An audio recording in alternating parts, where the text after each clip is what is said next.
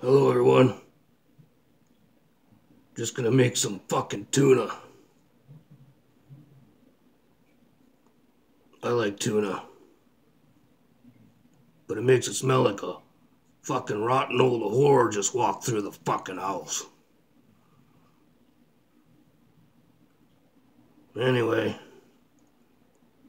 we'll slap these fuckers together and then